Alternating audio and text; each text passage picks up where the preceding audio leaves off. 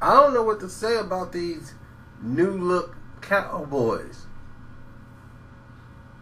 Dak and Zeke. That's all everybody keep talking about. The Dak and Zeke show. But man, they doing a little Brokeback Mountain look like up there to me. If that's how they doing it up there, them cowboy. Y'all broke back in it.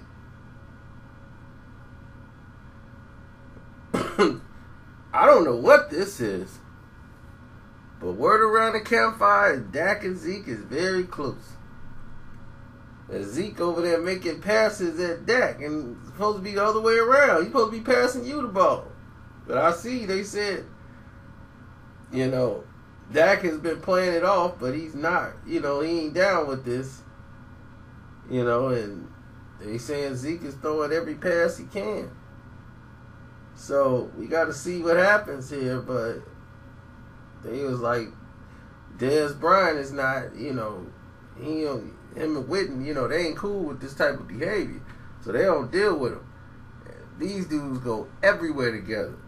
They hit the showers right by each other. They talking in the showers. They going out to the nightclubs together. It's Dak and Zeke. Wasn't no girls there. There was just them with some bunch of dudes popping champagne. And it's very weird. But Dak, you know, he, you know, he's still, you know, with chicks, you know, doing his thing. But, you know, national TV, you know, you got Zeke out here doing this extra stuff. And you looking at it like, what is what's going on out here? so can you blame Dez for his I want Romo back? He went from being the star of the team to the third person on the team. He's the third wheel. And Witten is like, look, they don't even include me. They got they got Beasley. He they main guy.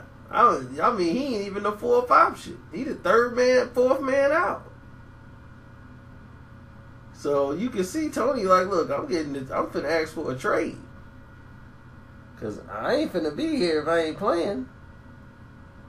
And Zeke like, man, I mean, Dad's gonna be like, man, I'm going with you because I can't stand this. I ain't finna be here for this. And then with all this other activity going on, and had it associated with me, so they might deal uh, Dez at the end of the year too, which would be better for the boys, but still. This is uh too night patrolish for me. Uh, Police Academy.